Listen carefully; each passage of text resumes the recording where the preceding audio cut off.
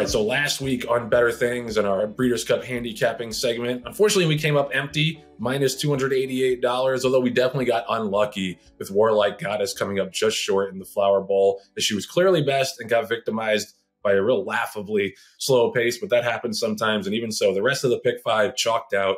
so I probably would have only broken even on that ticket anyway. Olympiad bounced back in a big way in the Jockey Club Gold Cup. You have to say the horses behind him were pretty disappointing. And considering the way he ran Saturday, I probably saved money in the Whitney when American Revolution scratched. Overall, I stand at two, plus $270.45. So we're still in the black with a couple more of the, these episodes to go. And we turn to this Saturday and the Bettor's Paradise of Kentucky Downs, which will host two Win and You're In challenge races for the Breeders' Cup. First, in the day's ninth race, a full field of 12 older males will go six furlongs in the grade two FanDuel Turf Sprint, a fees paid qualifier for the Breeders' Cup Turf Sprint. And then the 10th, another full field of older males will go a mile and a half in the grade two Kentucky Cup Turf Stakes, Kentucky Turf Cup Stakes, a qualifier for the $4 million Longines Breeders' Cup Turf. The two races can be seen on CNBC from 5 to 6 o'clock Eastern Time. This is where it's at. You know, I talked about Kentucky Downs last week during my interview with CJ Johnson, but it's some of, if not the best value for an American horse player on the entire calendar. Full fields, low takeout, turf racing. It's a very difficult meet to handicap, but it's also the kind of meet where you only need to be right once or twice to make it worthwhile. Start with the turf sprint, which is interesting because Kentucky Downs doesn't run a lot of six furlong races due to the track's configuration and how long the turn and the stretch are. So the six furlong gate is basically at the top of the far turn, which gives a you know a distinct disadvantage to horses in the outside post. And the heavy favorite in here, Arrest Me Red, just happened to draw the 12 hole. The issue is there's not that much speed to his inside, so he should be able to clear or at least get to the tooth path in short order. But overall, it's a great betting race where even if Arrest Me Red wins, you can still get paid with some prices underneath. The two long shots I'm most interested in are number four, Charcoal, and number nine, Front Run the Fed. Charcoal's an improving horse who's coming off of two sneaky big races that are better than they look on paper. Two back, he dueled on a fast pace and won the battle, but lost the war, finished a close second. Then last time, he got bottled up in traffic for much of the stretch before just getting clear late and again running a narrow second. The thing I like about him is he's got enough speed to lay close to what should be a pretty moderate pace. He's going to be at least 15 to 1. Front Run the Fed is easily fast enough to win this, so he probably won't be his 15 to 1 morning line, but he's dropping out of a grade one in the third start of his form cycle. So I'm happy with either 8 or 10 to 1 on him. And number six, Bob's Edge isn't impossible either. He's 30 to 1 morning line. He's got a big late kick, he's got a win on turf, and he's got dirt figures that make him competitive.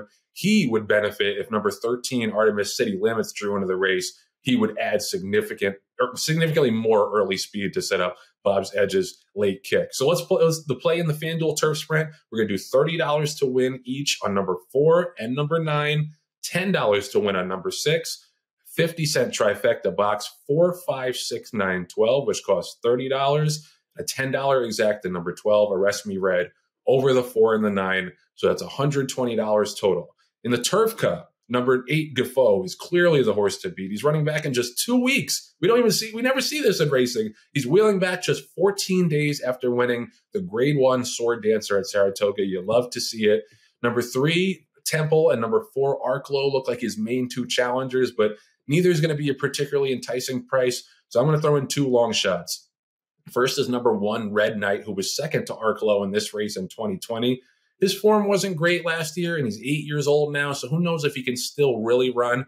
But he was transferred to Mike Maker over the winter, and Mike Maker just cannot do any wrong at these Kentucky Downs meets. And Red Knight won his first race for the barn off the layoff. And number two, Breakpoint is interesting as well. He, he went wire to wire, going further than this, going a mile and three quarters. I think to my knowledge, the only mile and three quarters race in America, the San Juan Capistrano Stakes at Santa Anita. He went wire to wire despite setting pretty honest fractions. The half in there was 47 and four. So that was a pretty impressive effort, even though we only got a 91 Beyer.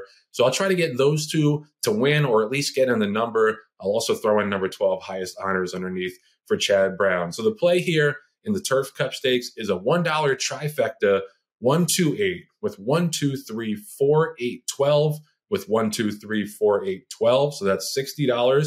$5 tri- trifecta, eight Gufo with three, four, 12 with one, two. in case the one and a two run third and it chalks out on top for a cost of $30 and then a $10 exacta, eight Gufo with one two for a cost of $20. That's a total of $110. The total amount invested over the two races is $230. We'll put all those plays up on the screen. Tune in from 5 to 6 Eastern on CNBC as we hopefully make some money and build that bankroll while seeing two tickets punched to the Breeders' Cup, which is, which is now less than two months away on November 4th and November 5th at Keeneland. Good luck if you're following along.